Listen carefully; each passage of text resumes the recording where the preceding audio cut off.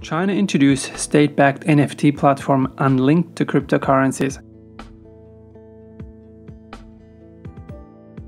The Blockchain Services Network has started testing its NFT minting and management system. The infrastructure is based on adapted blockchains that are not tied to cryptocurrencies. Before we continue, if you like what we talk about on this channel and if you haven't subscribed yet, please consider subscribing. I'll give you a few seconds to do that and then we'll continue. China's state-backed blockchain service network BSN recently announced a soft launch of a nationwide infrastructure to support Chinese non-fungible tokens NFTs, marking a key step towards creating a domestic industry that is separated from the global market and not associated with any cryptocurrencies. BSN said the infrastructure known as BSN Distributed Digital Certificates BSN DDC would offer a diverse, transparent, credible, and reliable one stop shop for businesses to mint and manage their own NFTs without relying on cryptocurrencies, which are banned in China. Most NFTs around the world are part of the Ethereum blockchain. BSN, which is backed by state-owned telecommunications giant China Mobile, state-run payment processing provider China UnionPay, and government think tank State Information Center, said it planned to officially launch the BSN DDC in late March 2022.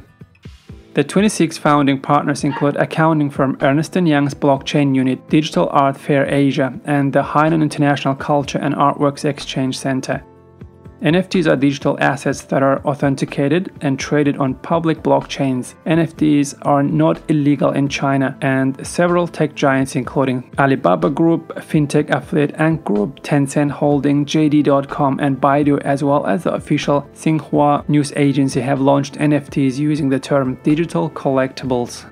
However, public blockchains, which are decentralized platforms, are illegal in China, where the government requires all internet systems to verify user identities and allow regulators to intervene in the event of illegal activities. To overcome that issue, BSN turned to a technology known as the Open Permissioned Blockchain OPB, an adapted version that can be governed by a designated group.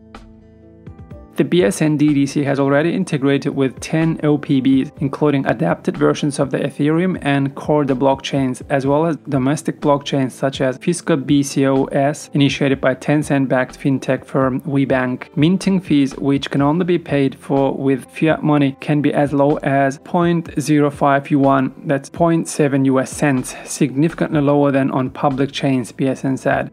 Red Dates he said he expected the BSN DDC to help generate more than 10 million NFTs, the amount needed for the project to turn a profit. While NFTs are currently used mostly for authenticating digital artworks, the biggest market would be management for accreditations such as car number plates. Such a system would give the car owner, government, and insurer controlled access to data such as mileage, engine number, and a repair history, with each party being aware of the other's rights.